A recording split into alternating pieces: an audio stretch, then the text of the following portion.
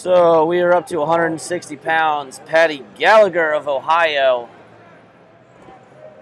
Pretty sure he's Irish. Jury's out.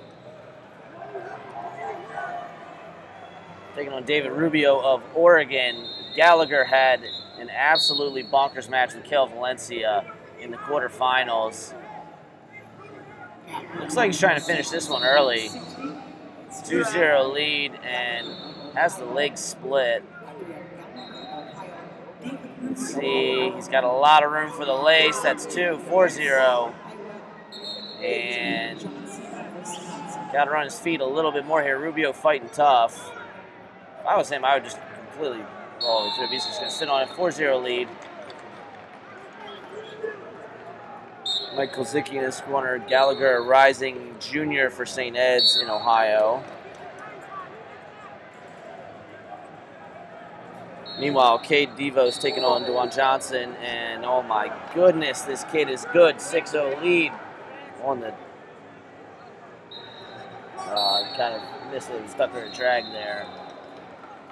Again, trying to work the lace, but either head went out of bounds or time ran out. Either way, doesn't matter. They're going to bring it back up to their feet.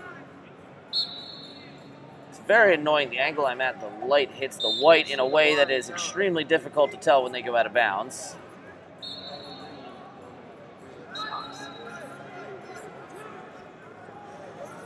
Gallagher moving, Gallagher moving and faking very well here. Halfway through this first period. And on the shot here, looks like he's going to change directions and finish it. Gallagher taking his time. Not want to give up the chest wrap.